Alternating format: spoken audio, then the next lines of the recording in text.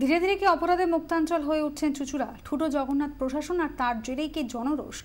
গণপিটুনিতে মৃত্যু কুখ্যাত দুষ্কৃতী গোপাল মজুমদারের প্রশ্ন উঠছে।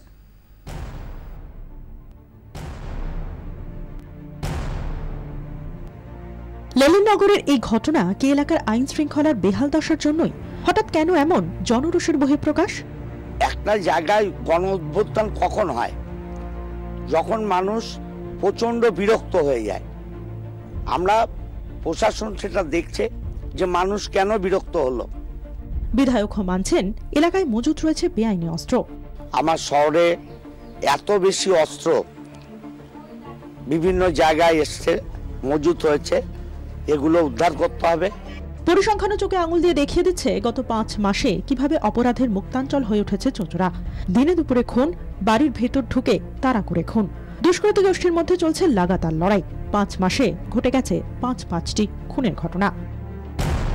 চৌঠা আগস্ট খাদিনা মোড়ে মালিকের বাড়িতে খুন হন গাড়ির চালক গৌতম সেন। চব্বিশে সেপ্টেম্বর ব্যান্ডেলের লিচু বাগানে খুন হয়ে যান মুকেশ তাঁতি। নয় অক্টোবর খুন কারবার এলাকার যুবক দেবাশিস দাস। পনেরোই অক্টোবর খাগড়াজলে বোমা বাঁধতে গিয়ে বিস্ফোরণ, দুজনের মৃত্যু। একুশে অক্টোবর কাপাসডাঙ্গায় খুন হয়ে যান সজল দাস। বেশিরভাগ ক্ষেত্রেই ধরা পড়েনি অপরাধীরা। ঠুটো জগন্নাথ পুলিশ। প্রশাসনের উপর আস্থা কমছে। সে কারণেই ধৈর্যের বাঁধ ভাঙছে এলাকার মানুষের। লেলিনগরের মতোই কোথাও কোথাও ঘটছে বিস্ফোরণ। এমনটাই মনে করছেন অনেকে। ভয় পাওয়ার কারণ ওরা এখন সে পিস্তল ধরেছে ওই ভয়তে কিছু বলিনি পাড়ার লোকের ডাকেনি আর কি ওই জন্য। লেলিনগরের ঘটনা তাই চুচুড়ের আইন শৃঙ্খলার বেহাল দশাটাকেই আরও একবার চোখে আঙুল দিয়ে দেখিয়ে দিচ্ছে বলছেন এলাকার মানুষ। ব্যুরো রিপোর্ট চব্বিশ ঘণ্টা।